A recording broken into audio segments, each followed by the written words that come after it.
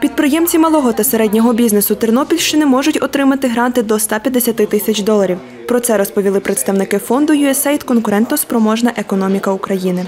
Оксана Повх, власниця двох закладів у Тернополі, каже, планує подавати заявку на грант. На бізнесі, на дрібному бізнесі також тримається держава. Це і забезпечення робочих місць, це і податки, це і просто забезпечення кожної конкретної родини чи підприємців, чи їх чи їх працівників. Тернопільський підприємець Володимир Діденко вже подався на грант. Ми пройшли перший і другий етап, і зараз вже в нас етап аудиту, перевірки ну, фізичні. Вже приїжджають представники завтра до нас на підприємство. Заступниця керівника програми USAID «Конкурентоспроможна економіка України Тетяна Грищенко розповіла, хто може отримати грант. Ми працюємо з малим і середнім бізнесом. Е, Це наша основна вимога. Це може бути виробництво меблів, іграшок, текстилю, е, різноманітне обладнання, е, товари для тварин, косметика. В принципі, будь-що я можу показати QR-код, через який можна податися, зокрема, на одну програму. Вимоги до різних програм різні, тому що на- деякі програми подається безпосередньо бізнес, тобто приватне підприємство, ФОП чи ТОВ.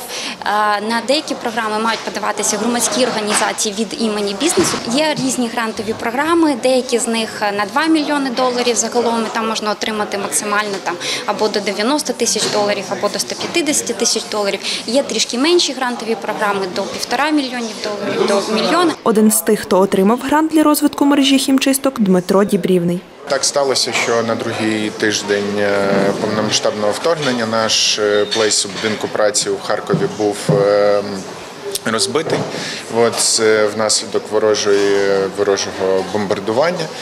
От, і ми зібрали всю команду, яка на той момент е, налічувала 25 людей.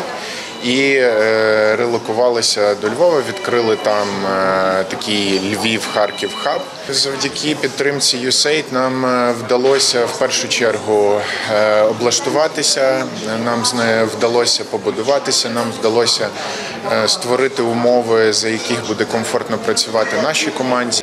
На захід зареєстрували 76 людей, розповіла його організаторка Наталія Овсейко. Наша Тернопільська область якось дуже пасивно відноситься до е, такої схеми співпраці. Наші люди переважно покладаються на себе і не хочуть брати якихось зобов'язань перед кимось, тому що якщо хтось дає гроші, значить треба якось відповідати. Але це е, ну не нове взагалі в світовій практиці, і це треба використовувати, і цього треба вчити нашого е, тернопільського бізнесмена. Наталія Бончук, Андрій Бодак, Суспільне новини, Тернопіль.